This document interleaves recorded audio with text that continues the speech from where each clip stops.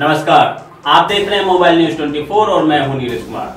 वक्त हो गया है 10 शहरों के 10 बड़ी खबरों और सबसे पहले हम बात करेंगे मध्य प्रदेश की। मध्य प्रदेश के मुख्यमंत्री शिवराज सिंह चौहान ने लालजी टंडन को श्रद्धांजलि देते हुए कहा कि मध्य प्रदेश के राज्यपाल रहते हुए टंडन जी ने हमें सदैव सन्मार्ग पर चलना सिखाया।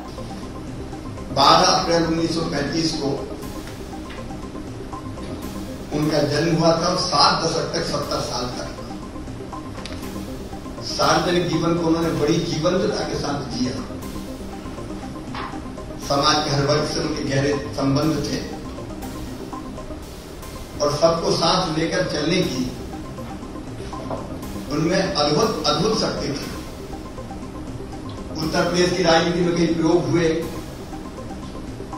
बीच में भाजपा और बसपा ने मिलकर सरकार बनाई थी।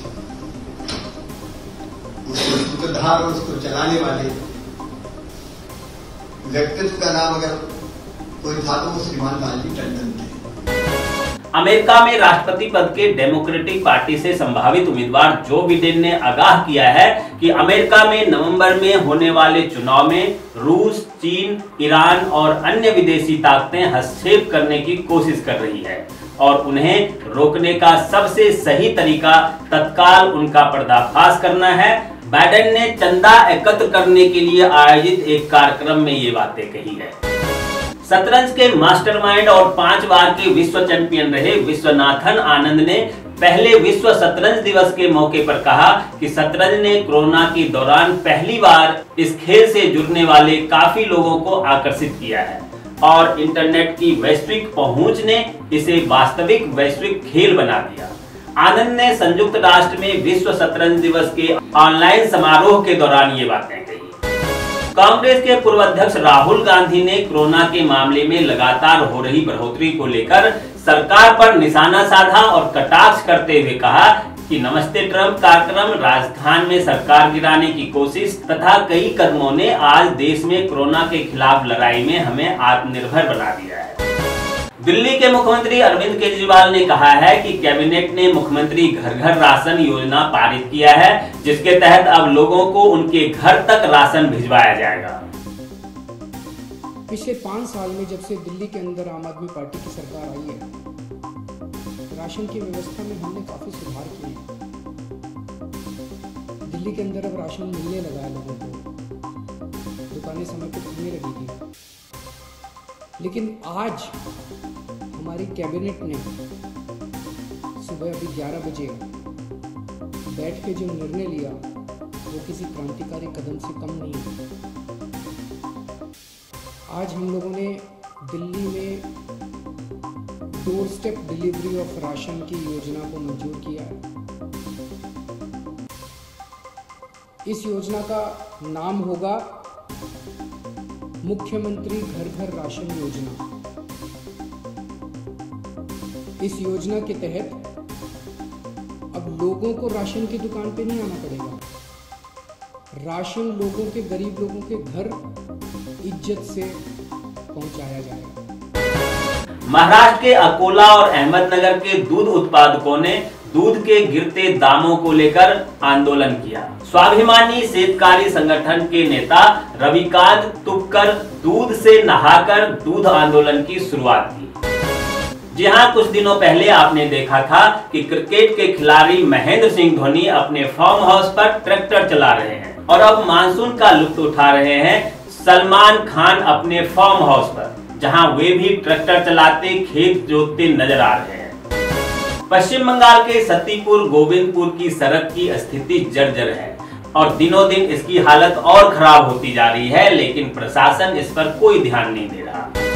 उत्तर प्रदेश के संभल के एक निजी अस्पताल में डॉक्टरों ने प्रसूति महिला को ब्लड की जगह सिंथेटिक खून चढ़ा दिया। महिला की हालत बिगड़ जाने के बाद महिला के परिजनों ने अस्पताल में हंगामा किया जिसके बाद डॉक्टर फरार हो गए।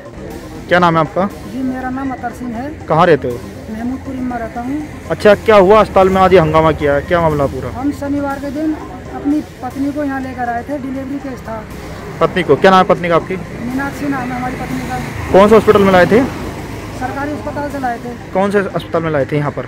जनता अस्पताल में लाए थे सरकारी अस्पताल से। अच्छा ठीक है फिर क्या हुआ? फिर ये हुआ बोले इसका बड़ा ऑपरेशन होगा। हमने कहा ठीक है करवा लेंगे। ये बोले दो यूनिट खून चलेगा दो बोतल की व्यवस्था करो। फिर इनके कंपाउंडर बोले व्यवस्था हम कर देंगे खून की।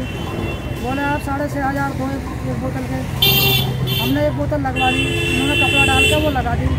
फिर साढ़े छः हज़ार दूसरी बोतल के लिए इन्होंने हमसे टोटल इन्होंने हमसे तेरह हज़ार रुपये लिए।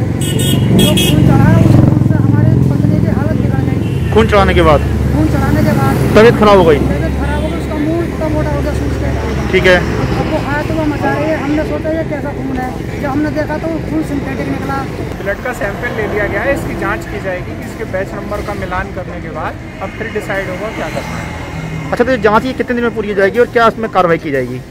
अब देखिए जितना जल्दी हो जाए उसी के बाद कार्रवाई होगी पहले जाँच हो जाए।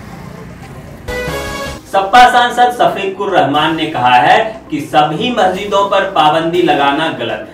जब मस्जिदों में नमाज़ नहीं पढ़े जाएँगे तो कोरोना कैसे भागेगा? क्योंकि बकरीद आ रही है, बकरीद एक ऐसा त्यौहार है कि जिसमें जानवर जबा किए जाते हैं। तो उस जानवरों की खरीदी फरोख्त के लिए कोई इंतज़ाम नहीं है। हम कैसे करेंगे? पहले बाज़ार लगते थे, बाजारों के अंदर बिकने आते थे तो मुसलमान जाकर खरीदते, लाकर और उनकी कुर्बानी करता था। आज भी हम चाहते हैं कि उससे बकरीद से पहले बाज़ार लगाया जाए, ताकि हम वहाँ से जानवर ला सकें उसकी कुर्बानी कर सकें। और इसके अलावा बहरहाल इसमें, इस मौके पर मैं एक मांग ये है कि चूँकि इसमें दोगाना शुक्रिया की नमाज़ पढ़ी जाती है, अल्लाह का शुक्र अदा करने के लिए। तो उसमें मस्जिदें और ईदगाहें खोली जाएँ जहाँ पर चूँकि सारा मुसलमान नमाज़ पढ़ेगा और पूरी एहतियात से पढ़ेंगे। और हमारा ये यकीन है कि ये अल्लाह के दरबार में हम अपनी माफ़ी मांगने के लिए जा रहे हैं। तो वहाँ इसी कोरोना के ख़त्म होने के लिए और मुल्क के हालात बेहतर होने के लिए और मुल्क की भलाई के लिए हम लोग दुआ करेंगे और अल्लाह हमारी सुनेगा इंशाअल्लाह। तो ये थी 10 शहरों की 10 बड़ी खबरें। नमस्कार।